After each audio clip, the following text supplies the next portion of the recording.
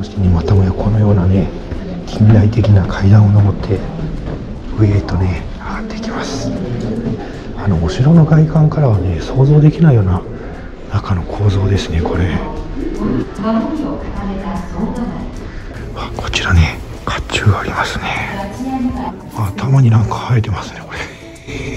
何でしょうかこれ。はちょっと私もねこれいろいろね見て回りながらねの利いた面白いコメントしたいんですけどもね。どうにも今ねちょっと周り人がいなくなりましたけどね。静かなねこの美術館のような雰囲気の中ね。あんまり私ふざけたこと言ってるとね白い目で見られてしまうんでね。ちょっとね恥ずかしくてなかなかね大きな声で喋れないんですけどもね。これは甲冑が描かれてますね。こちらもね木木の枠のね窓があるのかと思いきやね。こちら普通のねガラスの窓がねついてますね。やはりあの宇和島城とは全然違いますね。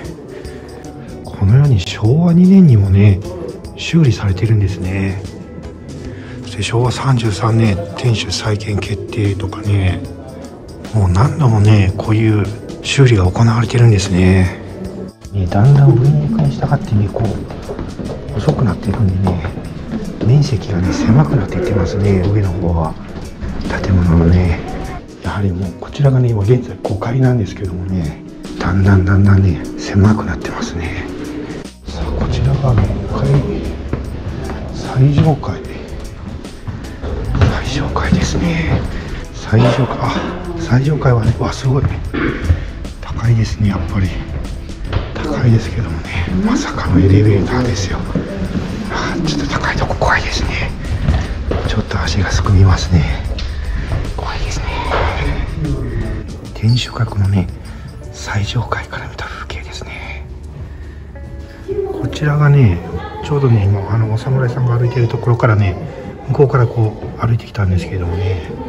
いやーちょっとね予想外と言いますかね想像してませんでしたねこの中はね。こんな風にね綺麗な建物になってたんですね。どうなんでしょうかね。これはこれでいいんですけれども。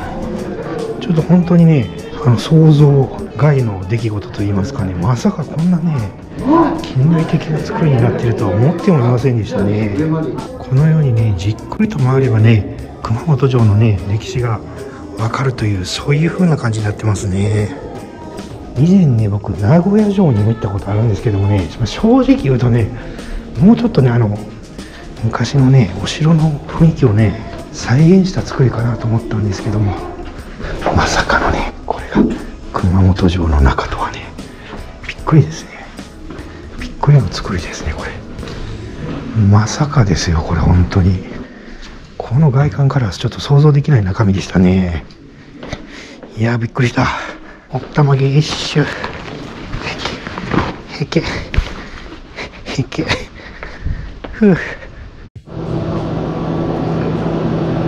熊本キャッスルウォーターお水ですかこれ。特別見学通路なんでしょうかね。何が特別なんでしょうか。あこの辺りは壁もね剥がれ落ちてますね。道はなかなかいいですねこれ。地下や涼しい感じで。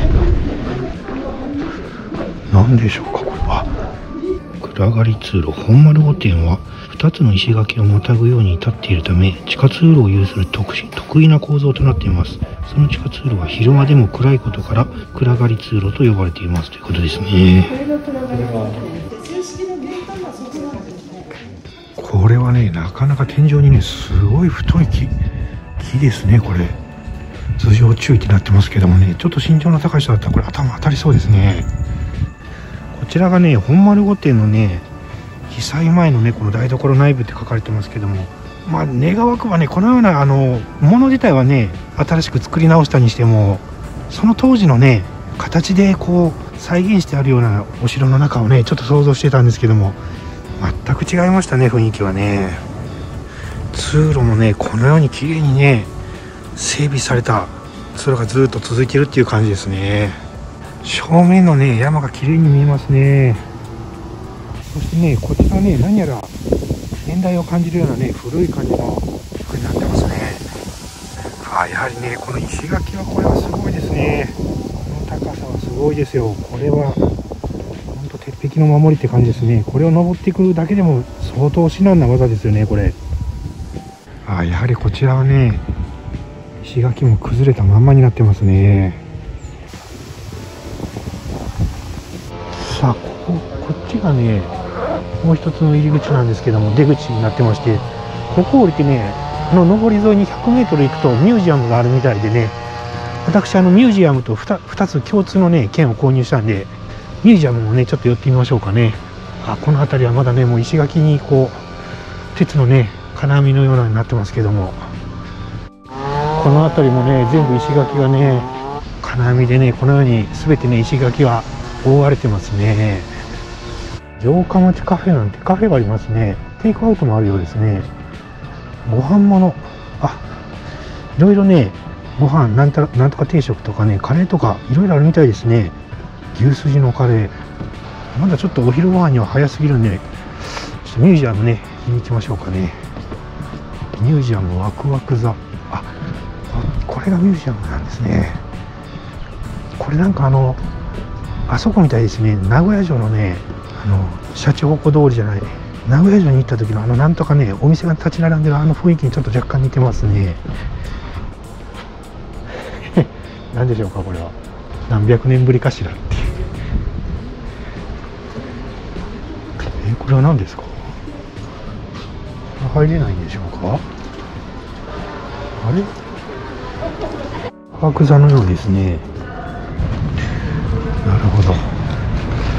なるほどなるほど。こちらがミュージアムですね。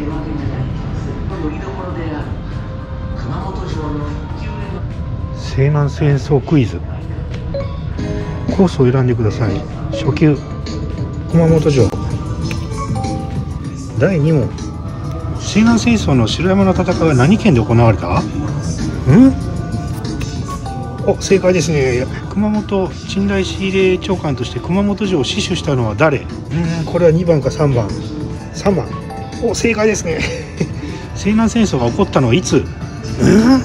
これ2番。お正解。お私全問正解してますね。お。やりましたね私。4問全問正解じゃないですか。最初の1問問題見ずに押したら 正解になってましたけどもね。こういうのをね見たかったんですよね名古屋城行った時はねこういう全てがこういう作りだったんですけどもね当時の再現といいますかね。これはねよく時代劇なんかでも見るやつですよね。この中にね偉いさんが乗ってこう担いで運んでるというね。1人ずつ乗ってくださいって乗っていいんですねこれ。乗っていいということでこれは履物を脱いでお上がりくださいということでね。私せっかくなんでね入ってみましょうかね。私のツーリングドームと比べてどうでしょうか？ちょっと右足がまだ痛みますけどもね。おおこここれ肘置きでしょうかね。頭ちょっと天井が低いですね。頭ぶつかってますねこれ。はいやー。パカッパカッパカッ。あ違うか。馬じゃなかった。人が人が落ちてるんでしたねこれ。はいやー。違うか。あこのようにね行列になって今のね乗ってたらこんな感じになってたんですね。こうやって昔はね車もなければバイクもなければ電車もないんでね皆さんぞろぞろぞろぞろとね歩いてこう行かれてたんですねこれね。すごいですね。大変ですねこれ。歩いてこの時代に日本一周しようとしたらどれぐらいかかるんでしょうかね日数はね。二人露店2階へどうぞ。熊本城 VR まあ、いずれね VR でこうバーチャルでこういうのが体験もっとすごい時代が来るんでしょうね。記念メダルなんて発売されてるみたいですね。からしれんこん熊本名物からしれんこんいきなり団子熊本名物なんですね。三大名物いきなり団子。